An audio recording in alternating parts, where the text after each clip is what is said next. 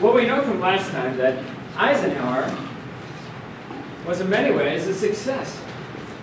How many soldiers were killed in the 1950s? Zero. How was it that one-sixth of the world's population uh, did one-third of the world's output? How is it that we could have security and progress at the same time? That is, we could have minimum wage, we could have uh, social security, we could also have omnipresent vacuum cleaners, omnipresent automobiles, omnipresent electric refrigerators in just about every American home. And yet, just as Eisenhower was you know, reeling from this tumultuous decade where he'd done so much to shape America in terms of consensus and affluence, we also have the problems that the Soviet menace is still there, that the threat of nuclear annihilation is still hanging over our, our country. And uh, into this impasse we have the launching of Sputnik. Does anyone know what was Sputnik in 1957? Now, Eisenhower tried so much to outflank the Soviet Union by making us an affluent nation, but we learned that there were many ironies of that, as people were trying to smoke cigarettes, and Americans were kind of uh, being shaken by the new affluence.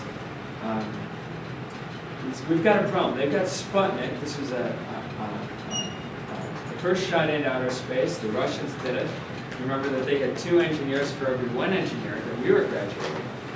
Um, so it looks like they may be winning you know, the arms race, and, and uh, Eisenhower is getting old himself, he's got heart conditions, and he's handing over the baton to the new generation of leaders, uh, John Kennedy. And uh, Kennedy uh, looks really good for a number of reasons. You know, here he is with his wonderful wife, Jacqueline. Where they say that some people are, uh, you know, they, they fall in love at first sight. Well, these two fell in love at first rumor. Uh, Jacqueline and John Desseen is such desirable people. And uh, Jacqueline um, had gone to the Sorbonne. She had her own byline as a journalist. You know, even if she did have size 11 shoes, uh, she was, you know, just amazingly attractive. And John was a war hero. He'd won a Pulitzer Prize. Uh, he was a senator. Uh, he beat Dick Nixon for the presidency in 1961. His father was a multimillionaire. Um, he was an American success story, uh, fourth generation Irishman uh, that showed that you could be a minority, you rise to the top. Uh, and indeed, with the Kennedy years, with this great society, we start seeing a kind of new kind of idealism, uh, which is kind of typified by a hit song uh, at the end of the decade, Age of Aquarius, uh, well, you know, this song may, may appear a little pagan, you know, for John Kennedy, but after all, it wasn't Jesus who healed him from Addison's disease. You know, uh, John Kennedy uh, recovered from an operation Addison's disease. He's probably the first person in the history of the world that did that. Uh, very uh, dangerous disease, but it was the drug cortisone that released it. And indeed, the drug cortisone also gave him this orange hue, so he looked like he always had a suntan, and actually filled him out. So he actually looked uh, extremely attractive. Because though he was often in pain, uh, and he was real handsome with his hair kind of right over his, sight, uh, his forehead, he, it said that with women especially, he released all sorts of hormones and neurotransmitters. That is, uh, he seemed like your son who was suffering terribly, who felt such motherly empathy for, but then he was also sort of like this playboy uh, who you know, was just kind of attractive himself. So, you know, we had tried moral reform in America. We had tried, you know, Victorianism being the first most moral nation. That really hadn't worked. Scientism and our technology could have worked, but then it gave us the atomic bomb and, you know, sure, you know, destruction. But you know, in Hollywood, we had other myths. So you could just have, you know, the best and the brightest. You could have these really wonderful people who would aim for the stars. Oh, it is a little pagan, isn't it? but that's the 1960s for you, you know. We could, we could be all we could be. We could, you know, this is the age of fulfillment. And if we just brought the stars to Washington, the best and the brightest, people like John Kennedy, who'd gone to Harvard, and even his two brothers went to Harvard. um, and um, bring them into Washington as bright as dimes, the elect and the electable. And we could best the Soviet Union, and not only best the Soviet Union, we could do all sorts of wonderful things. The Great Society of the 1960s was going to win the war against poverty. We were going to clothe the naked. We were going to feed the hungry for the first time in human history. And not only that, but we were going to win the war on racism because the Great Society does support Martin Luther King. For 400 years, the blacks have been held down, and we're going to change that as well. So let the sunshine in. Let these brilliant people come to the helm of Washington. Get out the aging Eisenhower. You know, Jesus hadn't defeated the communists. Maybe this new age of Aquarius might bring in something a little better. Any questions? Um, so Kennedy does, you know, bring in this kind of promise.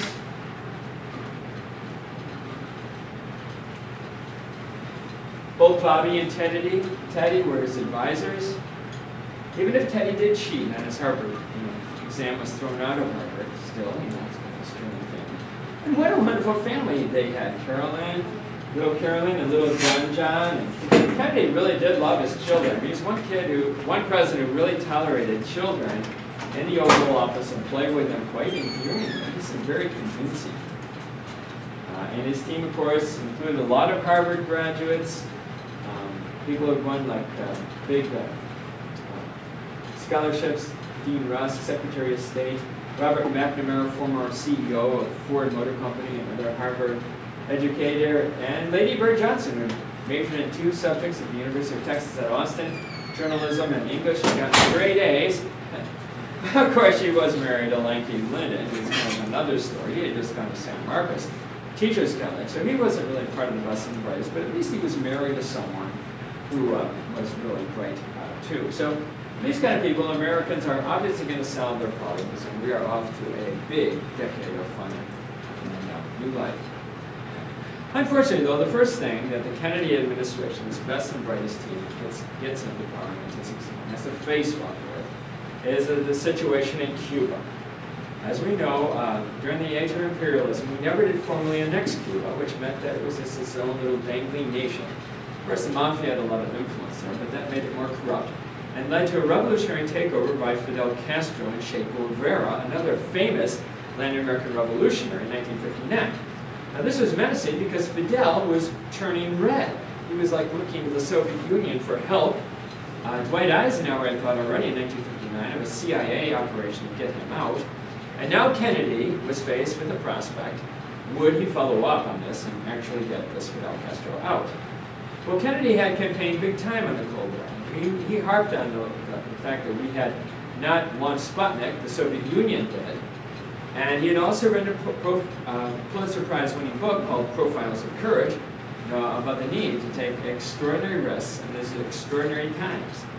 And so he did indeed back the invasion of Brigade 2506, which was a group of Cuban emigres plus CIA agents that attacked Cuba soon after it took office, trying to take this guy out of power. Well, unlike the clean operations that we saw with the case of the Eisenhower years. This was totally bungled by the CIA. They came up on a coral reef. Their weapons got wet.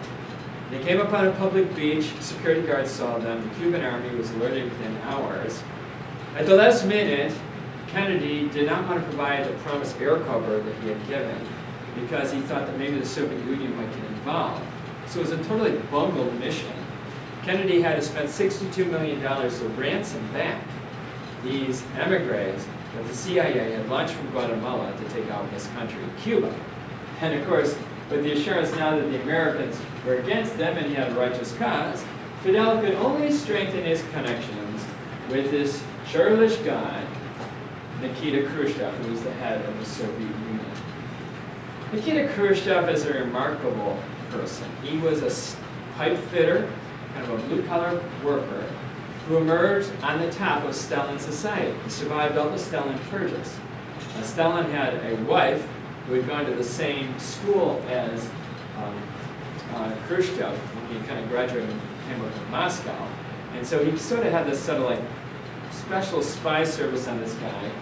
Um, Harold Macmillan, the Prime Minister of England, said, you know, how is it uh, a man with this piggish eyes and this churlish demeanor, who's just always letting out a gush of nonsense, how is it that this ill-fitting man has now has the second largest nuclear arsenal in the world and an army of four million people? Well, he had survived the Stalin purchase because Stalin never thought that this guy could do much. Although after Stalin died, he had somehow uh, silenced and, and, killed off Lavrenti Beria, who was the last of the great Stalin um, uh, killers. Um, and uh, but Nikita Khrushchev didn't know how to throw his weight around. And at one point, uh, he was talking to uh, Fred Thompson, our ambassador uh, in, in, the, in the Soviet Union. He would just say sort of like outlandish things but he's, he said from Fred Thompson, you know, you used to be able to spank us like a little boy, but now we can swat your ass. How would you like to feel if you were an American ambassador and this good guy, you know, Russian guy said, pushing around? He's got a nuclear arsenal behind him too, you know.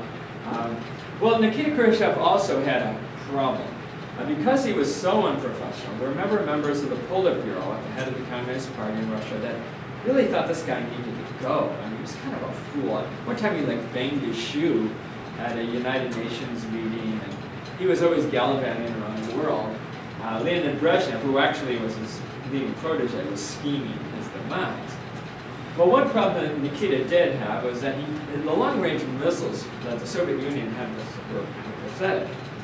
And, uh, but his short-range missiles were a little better. And so he reasoned that you know he could put in missiles in Cuba and thus he would neutralize the American advantage uh, that we had in long-range missiles. And so you've got this terrible situation developing. Kennedy cannot make another mistake politically on Cuba.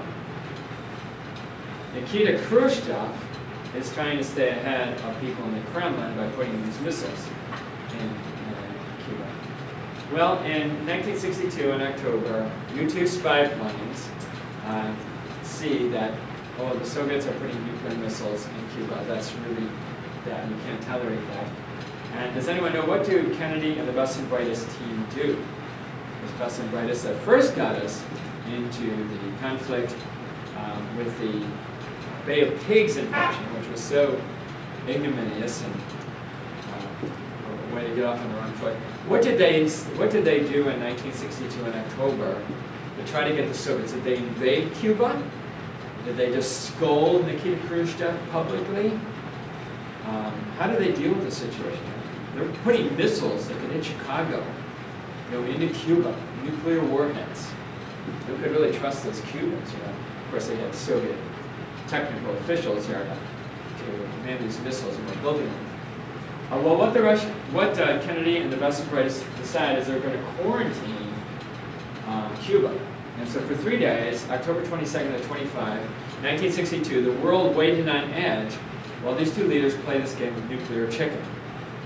We now know that the United States was ready, in the event of any warfare, to launch a first strike on the Soviet Union trying to neutralize all their missile silos, hit all their sites. And we now know that the Soviets were about to uh, destroy us. If there is a moment in world history where we come closest to our doom, it is in October of 1963. This is the height of the Cold War. And we now know that there was this Russian admiral um, by the name of Vasil Arkhipov who was commanding this um, submarine corps of um, the Russians had. Now the Russians have a lot of bad engineering problems, and one of them is with his submarines that the air conditioning was going on. So it's like 120 degrees inside the submarine. Plus the carbon dioxide level was getting dangerously high in the submarine. So there was all sorts of chances that these guys would not have behaved rationally. Um, there was also the problem that they did not have any radio waves, so they didn't know if a war had started. The Americans started sharp, dropping these depth charges in the quarantine zone like they're going to take out these subs. There were three commanders that had to make a decision, and they had to be unanimous in order to fire their nuclear torpedo. Two of the Russians were just so frustrated and so sure something happened, they said, fire! But this one man held out. And uh, because he held out, uh, the Russians did not use nuclear torpedoes. Indeed, they risked themselves. They surfaced from the water. And the Americans had spotted them, and thank God there wasn't any war going on. Um, and then they, they forced that torpedo to leave the quarantine area, so there was no fighting. But imagine what would have happened if they had used a nuclear uh, torpedo like two of the other commanders wanted to do. So, I mean, I would like to publicly thank Vasyl Arkhipov. I mean, I've been able to raise, you know, four children uh, since then, Vasyl, and, and I know that um, Carrie and Norma and Bruce and Martin are very thankful too for having lived our lives. So, thanks a lot. Ciao. so how scary was that? Um, that uh, we came that close. In the end, Khrushchev, uh, feeling a little uncertain of himself, from, as you can tell from the Vasyl story, where he had those superheated submarines, bad engineering, uh, does blink, and uh, this is what uh, Leonid Brezhnev, his protege, then uses to pull him down the next year and out of power. Uh, so he really takes it at the head. Um, Khrushchev does have a kind of soft spot in his heart. Uh, he did not, even though he's an atheist uh, who uh, persecuted the church, um, militant Marxist, he refused to kill people the way Stalin did. He thought that was he also refused to engage the world in a nuclear holocaust, which he could have done. He backed down. Um, and so he lost his position, although Brezhnev, who could have killed Khrushchev the way Khrushchev had killed Laurent Beria, the way Beria had killed millions and millions of Soviets, did not kill Khrushchev. Khrushchev was able to live out his life uh, under police guards. But in any case, uh, this crisis was averted. Um, today, when a plurality of Americans are asked who is the greatest president, um, the biggest number are, are still saying John Kennedy, which is kind of ironic because we came so close for political reasons to this terrible annihilation. Uh, Kennedy also um, has a connection with Vietnam, which we'll see next time as one of the decade's most problematic situations. Uh, some have said that the Kennedy team, the best and brightest, would have kept us out of Vietnam. And yet there was a pattern to the Kennedy president that has taken us more and more in touch with this uh, volatile situation we learned already in the 1950s that Ho Chi Minh and North Vietnam were, were coming in, and Dwight had threatened them with massive retaliation, they stepped. But the Kennedy administration stopped that asymmetrical policy of you know, launching possible nuclear strike and massive retaliation, and installed a more symmetrical strategy, like we were going to face them soldier for soldier. And then the Vietnamese think, oh, ah, we can we can go on that. So they were uh, attacking that. And Kennedy's response is indeed symmetrical. He starts sending over troops. Over the Strategic Hamlet Initiative, he starts blowing up famous North Vietnamese cities and villages uh, with American troops. He starts sending over tens of thousands of American advisors and CIA agents. In fact, Kennedy gets so involved in South Vietnam that he even bumps off the leader, who's a fellow Catholic. And he allows the CIA to uh, arrange for the assassination of Ngo Dinh Diem, this was done in conjunction with disgruntled South Vietnamese leaders. Um, when America gets involved this much, and we're taking out their leaders, um, you know we are getting really involved. Um, Diem uh, led a nation that was primarily Buddhist. He was a fellow Catholic like John Kennedy, but he was very unpopular. So unpopular that Buddhist priests would sometimes immolate themselves wearing these orange saffron robes and pour kerosene over their head and uh, suicide themselves lighting themselves in the match. It was a great PR stunt. You know, a lot of the television specials around the world picked this up about this terrible American policy in Vietnam. So he gets rid of Diem, but now we're really in deep uh, with Vietnam. Uh, there's actually a transcript from the State Department, proceedings of the time, where Undersecretary of State George Ball says, well, it's going to take at least 300,000 men to stop the North Vietnamese communists coming down. And Kennedy is right in the transcript and he says, you must be crazier than hell. Well, actually, over 500,000 troops would be put in Vietnam by 1968, and that still wasn't enough to stop the North Vietnamese Chinese and Russian proxies helping them um, from coming down and taking over South Vietnam. So Um, Kennedy, there is a record that Kennedy was really, you know, Kennedy um, pretty much. So many people think that Kennedy was the best president uh, because he faced down Khrushchev, because he represented such idealism of this great society that would win the war against poverty. Uh, he did support Martin Luther King, which we'll be talking about more, and the incredible turnaround uh, in the civil rights um, um crusade. Uh, however, in, in, the fall of 1963, he was in deep trouble, especially in the South perhaps because of his immigration. He still, of course, had not uh, the Soviet Union anything but just sort of a symbolic showdown. And he was trying to show up his fortunes in all places, Texas, which lanky Lyndon should have been holding down. Uh, the Kennedy brothers were pretty much ready to get rid of Lanky Lyndon, since he couldn't even hold on to Texas. In fact, when Texas, when Lyndon had shown up in Dallas in 1963, he had been mobbed by all these high society women wearing mink coats, and he'd even been spit on, uh, as Dallas is one of the most conservative places in the country. Um, in fact, Jack Kennedy referred to North Texas as nut country. But he was going there to kind of shore up his fortunes. And of course, what should happen in November of November 22nd, 1963, uh, as he's driving down his limo um, downtown Dallas, and he's, he's shot. And you're going to see his wife kind of trying to help him. Um, the Dallas police should have been looking toward the storefronts, but instead they're, oh, he shot again. Oh. And his head you know, gets scattered on the back seat, and they're trying to speed up, and they, uh, Jacqueline's trying to get part of his brain sort of in the back of the car. Um, they took him to the Parkland Hospital and they made him wait like about 15 minutes in Dallas. The Kennedy family hated Dallas after this, and of course many people alleged that there was some kind of conspiracy.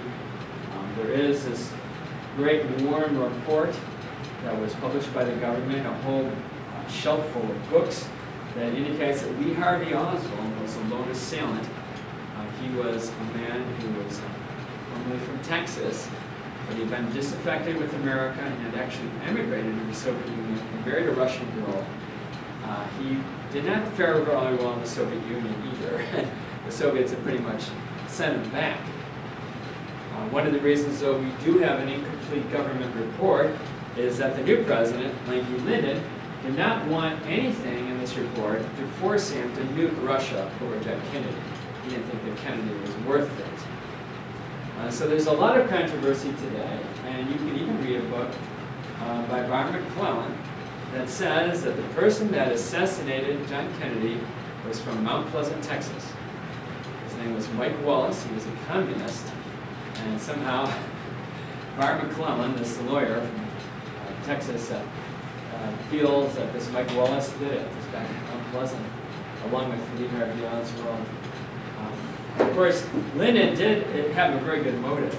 He was about to be exposed in Life magazine because of the way he was corrupting the political process. Uh, had a lot of oil money and uh, had this uh, special subordinate who was uh, uh, doing all kinds of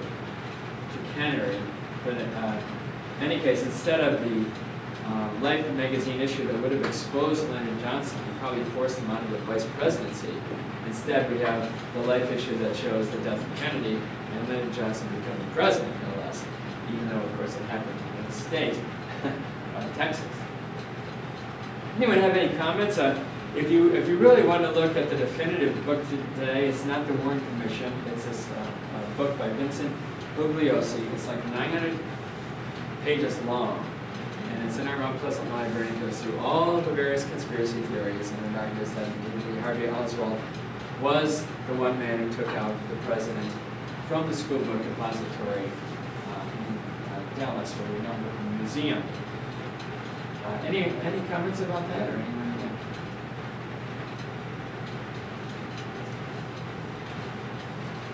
So Kennedy is remembered as in this great kind of shiny uh, knight. Um, yet, um, the more we look back on it, the more at least people like me wonder why he has been so uh, esteemed. Um, you know, the perfect family situation that they describe in Camelot in terms of a uh, contemporary movie has been pretty much debunked. David Berner of Stanford University in a book uh, argues that Joe Kennedy, the father, did everything possible to keep Jacqueline married to John, was quite a womanizer, even paying her a million dollars. So, you know, they, they had all these wonderful photos in the White House of their family together. The American believed that they had the perfect family, um, but in fact, he was a, quite a chronic womanizer. Um, for example, there was this one young girl named Mimi Alford, who was 18 years old. She was a presidential intern, super bright girl uh, from Vassar. And uh, Kennedy, um, you know, saw a group of these you know, presidential intern people and, and, kind of picked out this Mimi Alford and said, uh, um, say, uh, how would you like to, you know, see a little bit more of the White House? So he took her out separately and took her to his bedroom and had sex with her right then and there and uh, put her in his rotation, because he had his rotation of a lot of women. And um, Mimi Alford's uh, memoirs, she talks about going to this bathroom, which was right next to the Oval Office, where they had these little rubber duckies, and playing them while she was in the bathtub with John. Uh, John. The reason why I say that is because in the wife's memoirs, Jacqueline, and Jacqueline did know some things that were going on, but she didn't know everything. In Jacqueline's memoir, she, she talks about these rubby, rubber duckies and how they were a gift of little John John. And it was how, how it was like their little family secret that Kennedy kept these rubber duckies in the bathroom that was right next to the Oval Office, even though a lot of people wondered about these rubber duckies. So, you know, what is sort of like the, the inside family joke, um, the, you know, the touching tale of Camelot, and one reminiscence, uh, you know, gets killed off with this uh, reminiscence that's been published by this woman who was uh, Kennedy's lover, one of several. So there was a lot, you know, the, um, underneath the story of Kennedy. You know, it turns out he didn't really write the Pulitzer Prize winning uh, book Ted Sorensen did. Uh, the pop, whose mission was to have uh, one of his sons as president, had hired this writer. In fact, Kennedy didn't even write his, his high school thesis, uh, I mean his college thesis. Uh, they got him through Harvard. Uh, Ted Sorensen did. So at the same time, you're all getting, you know, touching up against this Turnitin.com, which is like a super plagiarism detecting device that we're putting you through, the atomic bomb of uh, plagiarism protection. Uh, Kennedy got out, of course he could have gotten out in today's age too if you had a father that didn't pay for someone to write for you. He wouldn't have been detected. Um, all kinds of things have popped in. One time, for instance, the first kid elected as congressman, uh, he was going against a very established New Deal congressman by the name of Joe Russo. And what Joseph Kennedy did was he went through the telephone book and he found another Joseph Russo, a name of the same guy with the same name as the congressman, and he bribed the other Joe Russo to run against the other Joe Russo. So there were two Joe Russos appearing in the ballot, so that John Kennedy then could win over a confused electorate. So a lot of grim determination in the Kennedy family, um, uh, kind of unsavory side of this great society. But this, of course, then leads us to Lyndon, Lyndon Johnson taking over, the, the guy that wasn't supposed to be there, uh, the one undereducated guy. And we wonder, how is it that Lincoln Lyndon ever did, you know, come into power? This guy uh, from uh, Central Texas, born in 1908 in Stonewall, uh, after all, this is a guy who punched out his father, um, Sam, uh, twice. Uh, he, um, he stole the family car a number of times. He um, uh, impersonated a lawyer in Los Angeles, which is against the law. Well, after having a very mischievous and kind of bad youth, uh, he does go to San Marcos Teachers College, today's Texas State, still kind of as kind of a party school but during the Great Depression. And that's when Lyndon uh, began to apply his incredible ambition. According to Robert Caro, his really great biographer, has written a series of good books on Lyndon.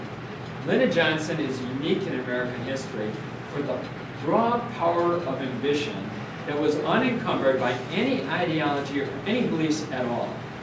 This is a man who wanted to get ahead like anything, and yet really had no principles behind him. He just wanted to be number one, and he would do anything for it. Now, what does that mean, say, if you're going to college? Well, if you're Lyndon, and uh, let's say Professor Wilhite comes in, you what do you want to say if you're Lyndon? You say, Professor Wilhite, are you going to give another one of your great lectures today? Or if, uh, uh, let's say, uh, Mr. Ellerman or Mr. Murphy's around uh, on campus and they're sitting down somewhere, uh, what you want to do is you want to just kneel down before them. And kneel down, I can't do my back's kneel down before them with a hangdog expression like this. I, I mean, literally, right down below them when you see them on campus, like you're hanging on every word. Because this is what Lyndon did. He always played the part like of this poor country boy who was just so eager to learn. And, and, and then teachers would think, oh, you know, the poor guy, he didn't really have a good education or background. Uh, you know, just let him through. And he thinks so the world of me. He, he really wants to learn. I mean, he's so desperate. You know, he's just laughing up everything I say. Um, he played the same kind of games as he he worked for Richard Kleberg, a congressman from South Texas. Um, he, he, had, he eventually got a lot of Texas oil money behind him, so he had secrets of every other senator uh, exposed. Um, but um, he still had a brown nose some people. And uh, uh, uh with uh, uh, Sam, this, the guy from North Texas, I'm trying to think of his, his name. I can't, I can't think of it right now, but uh, he was a major leader of the House, House of Representatives. Um, he did not have any son either. And uh, you know, you can go right up to Bonham, Texas, and you see this guy's um, Sam Rayburn. Sam Rayburn, I'm sorry. It's Sam Rayburn. So Sam Rayburn didn't have a son, and Lyndon would would um, kind of cozy up to him and say, ask him for advice, and say, "No, Mrs. Sam, you're, you're just like a dad who didn't you're just like the father. That's another tactic to use. Go into your professor's office and say, hmm, you're just, you're just like a mother to me. I, I never knew this before. And, and, and uh, he also does this to Richard Russell of uh, Georgia. Uh, and he plays the son and goes to baseball games with him and stuff like that. And he says, uh, you're just like the dad. And, um, and because you, you've given me so much help, I'm just going to call you Mr. Wisdom from now on. Uh, and if you start using like adjectives when you address people, like uh, don't just say, um, hi Carrie. Say, hi generous Carrie. Hi wise Carrie. Hi brilliant Carrie. just keep on saying that all the time. Insert, an, insert a really good adjective. So, uh, any case, it is a very interesting story. Uh, Robert Caro argues that there never has been a master of the Senate like Lyndon Johnson. He had all the dirt on everybody. Uh, he could kind of overpower them. He's very lanky, six foot four, and um, uh, he was like a conductor in the Senate. He was like orchestrating the vote and you know cutting people off from talking.